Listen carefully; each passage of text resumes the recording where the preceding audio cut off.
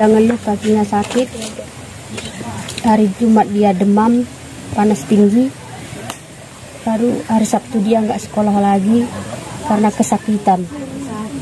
Saya bawa dia berobat, tidak sembuh juga. Terus dia terus mengeluh kesakitan. Mak, sakit kurasa kaki ini mak. Ayo berobat nakku. Aku bawa ke klinik. Tapi tetap badannya panas tinggi terus dengan kaki bengkak terus. Jadi pada hari Selasa saya pergi ke sekolah. Permisi kepada guru bahwa anak saya Rindu Saputra Sinaga sedang sakit gara-gara dihukum oleh guru agama.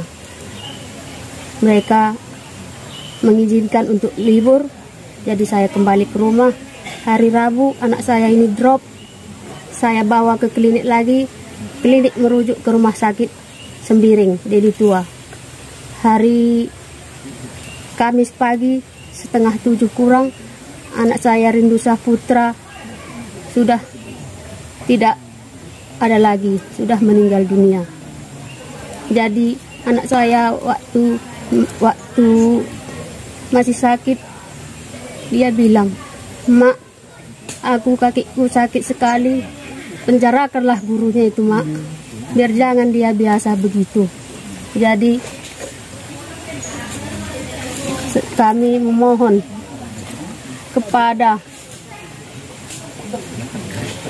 pihak hukum tolong kasus ini diusut supaya ke depannya tidak terjadi seperti ini lagi. Pihak keluarga sudah melapor ke kantor polisi, Bu. Sudah Bagaimana respon dari polisi? mereka memang bertanya kepada saya.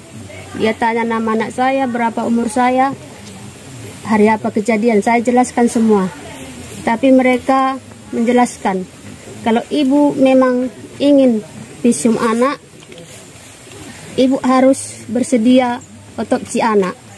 Polisi cakap kan, saya bilang nggak mengerti.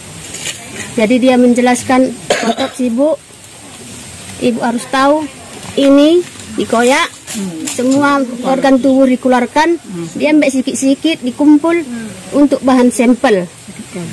Jadi saya merasa takut lah. Anak saya pun sudah meninggal, saya sudah tidak bernyawa lagi. Melihat lagi itu video, dikoyak semua usus dari dalam. Saya nggak terima lah. Jadi saya mundur. Ada pertanyaan lagi? Oke, kemudian jadi laporannya nggak jadi jadi, Bu. ya? Mereka tidak membuat laporan, cuma menanyai saya saja. Hanya memberikan saran. Pernyataan kalau saya mundur dari laporan. Siap Otopsi. tidak membuat. Iya. Itu Polsek Talungas. Iya, Polsek Talun Kenas. Itu suratnya berarti surat eh, tidak dilakukan otopsi gitu ya berarti ya? Iya. Itu tidak ibu dilakukan otopsi, Tidak membuat laporan. tidak Iya. membuat laporan, tidak lanjut lagi masalahnya ini. Ah, ah. Ah, ah, gitu aja. berarti Yang menyodorkan surat itu siapa? Kenal nggak? Siapa namanya? siapa? Yang menyodorkan hari itu? Nombi ya. Mana dia? Polisi, tapi Iya, polisi. polsek Iya, saya tak tahu namanya. Ibu udah tanda tangan? Ada tanda tangan. Udah. Udah. Tapi terpaksa ya, Bu. Iya, saya tak tidak mengerti. Saya tanda tangani ya. Tidak- Kakak tanda tangan memang Saya pasti. tanda tangani materai karena saya tidak mengerti. Tapi nggak kakak baca isinya apa kira-kira. Inti dari surat pernyataan itu nggak kakak baca. Baca, tapi itulah tandanya mundur. Tapi dari pihak terlapor ada nggak di situ? Iya. Contohnya entah guru yang mewakili dari sekolah nggak ada? Ada. Oh iya. Takut. Yang pertama-tama kita turut berduka cita terhadap keluarga almarhum terkait dengan pengaduan korban keluarga korban ke Polsek Talun Kenas. Kita tidak pernah menolak ya tidak pernah menolak. Baik pengaduan kapan saja kita bersedia.